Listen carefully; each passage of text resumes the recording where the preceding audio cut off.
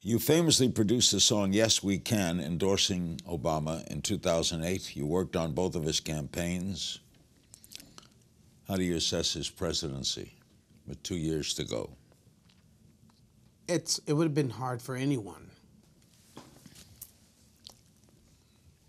would be hard for anyone.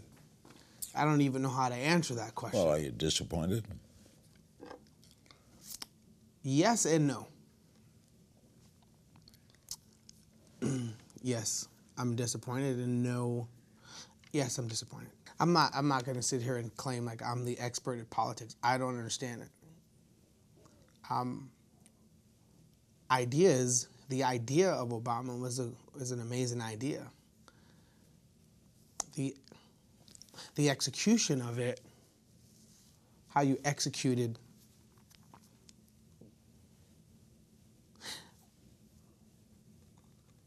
education reform to me should have been the first thing we should have been fighting for.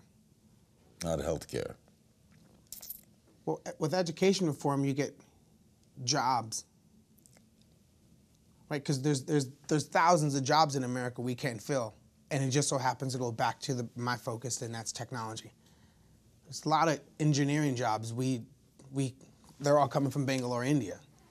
I know because who I who I hired to build my company. They come from Bangalore, India. I wish we can.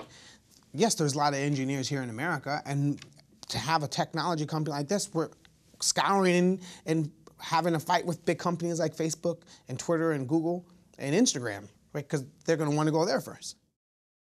Watch new episodes of Larry King Now, Monday through Thursday, on demand on Hulu and Ora.tv.